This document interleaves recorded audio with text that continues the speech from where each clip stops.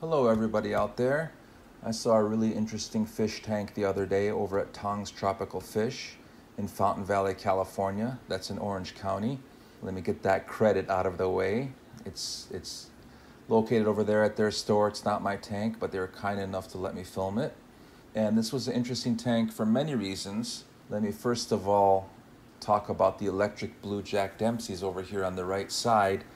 And these fish are just, in my opinion, as good as it gets for freshwater fish.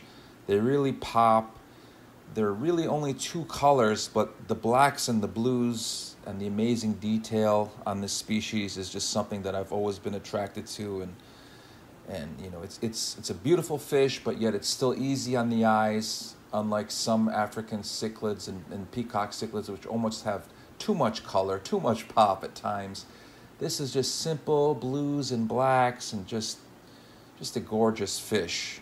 The only the only problem is that these guys get pretty big, up to a foot long, and then you get into the dilemma of you know, where to house them, how big of a tank you need, and then what you can house them with.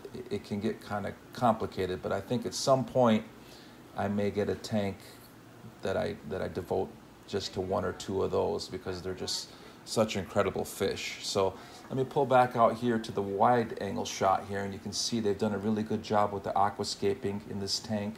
They got a number of different schooling type of fish here. You see some tiger barbs and then a fish that I'm a really big fan of are those denison barbs, also known as roseline sharks. You've seen those in my 65 gallon tank.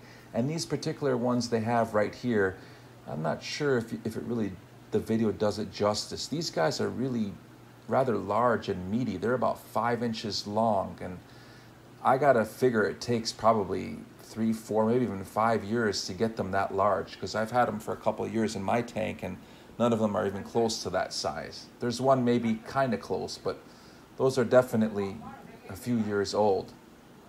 So I thought this was a beautiful tank also because it's a unique shape, you know, because of the length and the width. And then obviously really cool aquascaping. So I just thought it was a really unique tank, not something you see every day. And this is a display purposes only tank. Nothing in here is for sale. It's just kind of a show tank within the store. So I wanted to share it with everybody here on YouTube. Please let me know what you think of the tank in the comments and also like and subscribe, please. Thank you for watching.